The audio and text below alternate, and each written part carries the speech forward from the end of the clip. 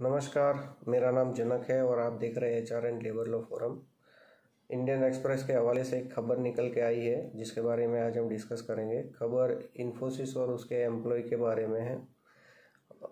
IT company का एक union है, जिसका नाम है N I T E S NITES NITES ने इन्फोसिस के लिए कंप्लेंट किया है। हमारी एच आर हमारी जो एम्प्लॉयमेंट मिनिस्ट्री है, लेबर एंड एम्प्लॉयमेंट मिनिस्ट्री, उसको कंप्लेंट किया है। कंप्लेंट ऐसा है कि इन्फोसिस का एक एम्प्लॉयमेंट टर्म है। नॉन कम्पिट क्लॉज है। क्लॉज के लिए उन्होंने कंप्लेंट किया है।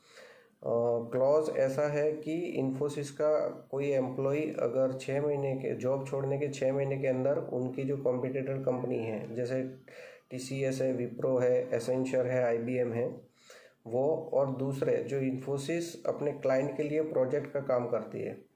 तो वो जो वो जो एम्प्लॉय है, जिस क्लाइंट के लिए काम कर रहा है इन्फोसिस की तरफ़ से, वो इन्फोसिस से जॉब छोड़ने के बाद छः महीने के अंदर वो क्लाइंट को ज्वाइन नहीं कर सकता और जो कॉम्पिटेटर कंपनी जो मैंने नाम बताए उनको ज्वाइन नहीं कर सकता।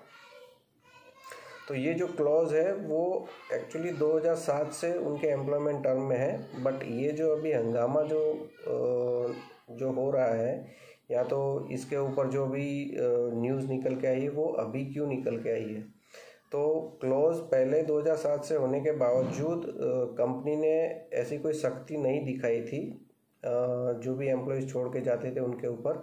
बट अभी आपने खबर सुनी सुनी होगी कि जो इन्फोसिस है, उसमें एम्प्लॉय का एट्रीशन लेवल बहुत हाई है। तो उन्होंने टैलेंट को रिटेन करने के लिए उन्होंने ये अभी सख्ती दिखाना स्टार्ट किया है। इस क्लॉज को लेके।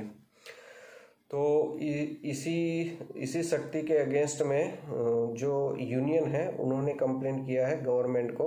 या तो हमारी एम्प्लॉयमेंट एंड लेबर मिनिस्ट्री को कंप्लेंट किया है कि आप इसमें इंटरविन करो और इसमें कुछ समाधान या तो जो भी इसके ऊपर जो सॉल्यूशन है, वो लेके आओ।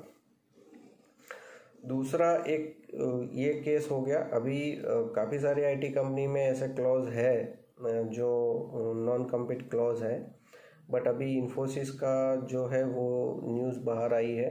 अभी आगे हो सकता है कि और भी जो कंपनियाँ हैं आईटी कंपनी उनका भी आ सकता है। ऐसा ही एक केस जो हम डिस्कस करेंगे, जो पहले हो चुका है और सुप्रीम कोर्ट तक गया है। तो केस ऐसा था कि जो हमारे मीडिया कंपनी है मीडिया कंपनी में एंकर काम करते हैं। तो जो एंकर उसमें भी एक ऐसा क्लॉज था कि अगर कोई मीडिया कंपनी को छोड़ के अगर दूसरी मीडिया कंपनी ज्वाइन करता है तो वो दो साल तक ज्वाइन नहीं कर सकता। दो साल के बाद वो ज्वाइन कर सकता है। तो वो फिर केस बाद में सुप्रीम कोर्ट में चला गया। और सुप्रीम कोर्ट ने डिसीज़न दिया कि ये क्लॉज ऐसा जो क्लॉज रहता है, जो एम्प्लॉयमेंट को कॉम्पिटेटर के अंदर या तो एम्प्लॉयमेंट को रोकता है, वो क्लॉज गलत है।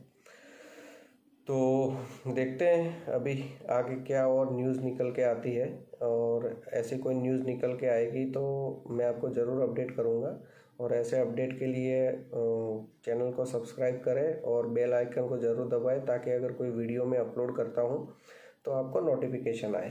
Thank you